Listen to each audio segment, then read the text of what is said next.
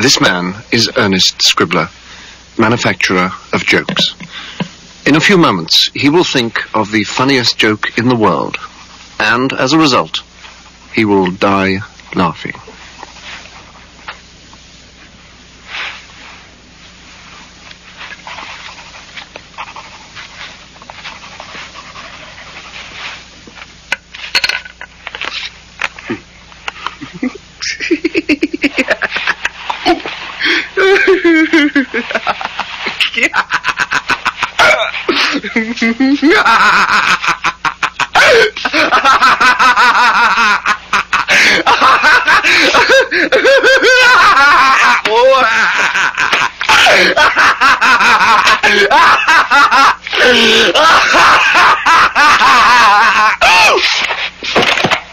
It was obvious the joke was lethal. No one could read it and live. Scribbler's mother, alarmed by the unusual sounds of merriment, entered the room oh. and found what was apparently a suicide note. Yes,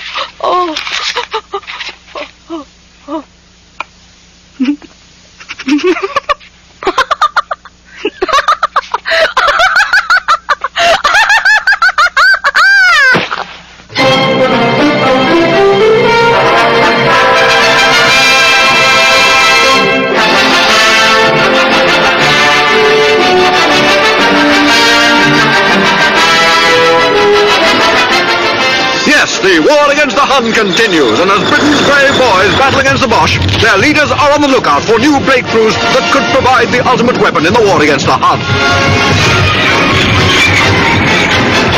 And here, in this little house in Finchley, they think maybe they've found it.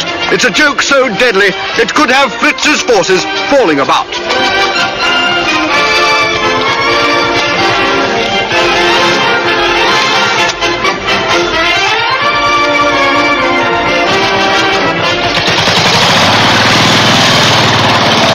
Tests on Salisbury Plain confirm the joke's devastating effectiveness at a range of up to 50 yards.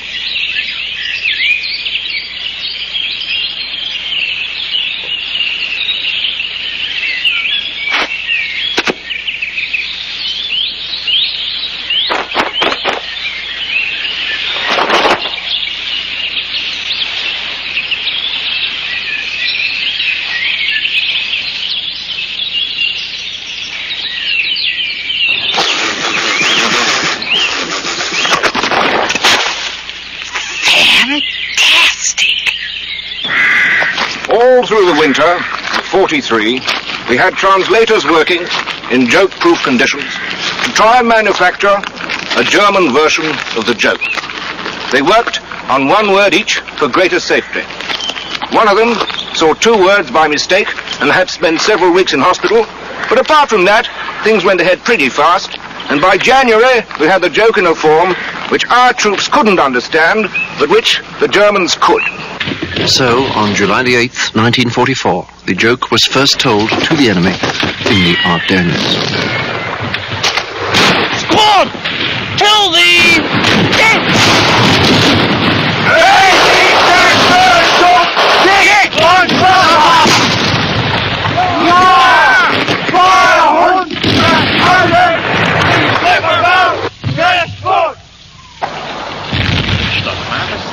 Das ist der Zipfeltag, ja? Nicht immer weit gespult. Oh ja, oh ja!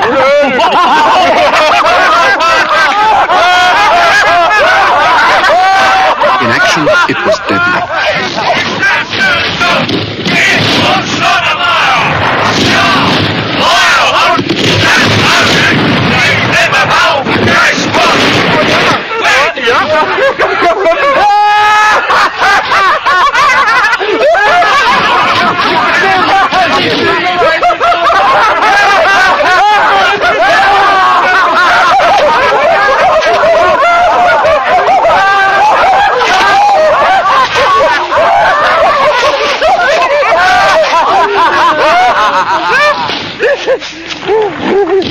German casualties were appalling.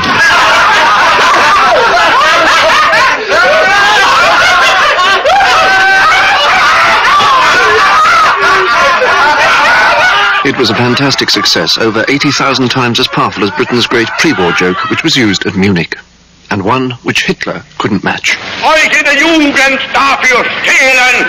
Wie ein, zwei Dänemark, jeweils